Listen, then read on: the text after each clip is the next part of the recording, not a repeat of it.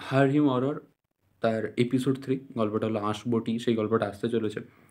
আঁশবটি channel তোমরা জানো যে আমরা যে ক্ষেত্রে ওই আঁশ মানে এস, এসে ব্যাপার থাকে মানে সেখানে ধরো মাছ বা মাংস টাংস যেই বটিতে কাটা হয়, তো সেই বটিতেই কোনো একটা রয়েছে ব্যাপার, তো এটা ন্যারেট করবে আমাদের কিন্তু মোহর। এখানে কিন্তু তুমি দীপদাকে দেখতে পাবেন একটা বিশাল বড় একটা সারপ্রাইজ রয়েছে। গল্পটা লিখেছে নীলয়ন সমীরণ নন্দী এবং সাউন্ড ডিজাইন সেটা করেছে দীপক রে।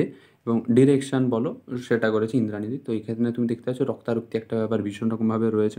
এবং যে পোস্টার ডিজাইনটা সেটাও কিন্তু জাস্ট আউটস্ট্যান্ডিং অভিনন্দন ব্যানার্জি। সেই পুরো ব্যাপারটা করছে এখানে আঁশবটির ব্যাপারটা জেনারেলি মাছ টাছ কাটে আমাদের যে মহিলারা কাটে। তো এখানেও যে আমাদের যে মোহরদি, তো সেই মোহর দিয়ে এই গল্পটা পুরো ন্যারেট করছে। তো এখানে একটা নারীকেন্দ্রিক ব্যাপার স্যাপার তুমি দেখতে পাচ্ছ, একটা হিংসা বা একটা কোনো আক্রোশ বা একটা কোনো দেখতে পাবে রিভেঞ্জ সেটা এখানে নেবে।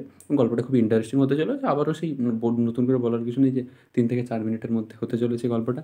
এই মুহূর্তি রয়েছে, মুহূর্তি ন্যারেশন করছে, সেটা ভীষণ ইন্টারেস্টিং একটা ব্যাপার। ইনোভেশন এই ইউটিউব চ্যানেল নতুন হলে অবশ্যই চ্যানেলটাকে সাবস্ক্রাইব করে পাশে থাকো।